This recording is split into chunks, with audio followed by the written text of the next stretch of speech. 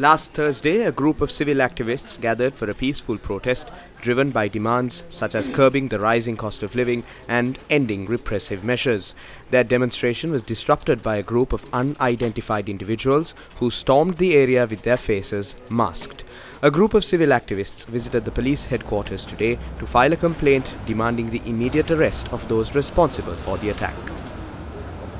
කොල්ලුපිටිය පොලිසිය මේ ගැන විමර්ශන පවත්වයිද කියන එක ගැන There's uncertainty whether the police will investigate this matter.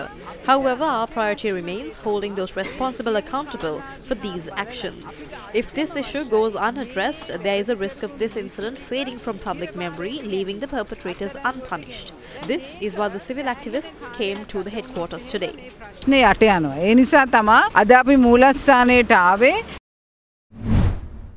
Several civil organizations filed complaints with the Human Rights Commission today over the attack on the peaceful protest at the Liberty Roundabout in Kolpiti. මේ civil ක්‍රියාකාරී මීට සති ගානකට හැම This is a weekly demonstration held by civil activists. For some time, the police had been providing security for these demonstrations. However, on this particular day, there was a noticeable absence of police presence in the area. This sudden disappearance has raised concerns among the activists, leading them to question whether the attack on the protest was a planned act. Given these doubts, it's imperative for the government to take immediate steps to investigate the matter and address the concerns of the civil society. සංවිධානාත්මක කල්ය This attack was perpetrated by an organized group. They carried swords strapped to their backs and attacked protesters with batons.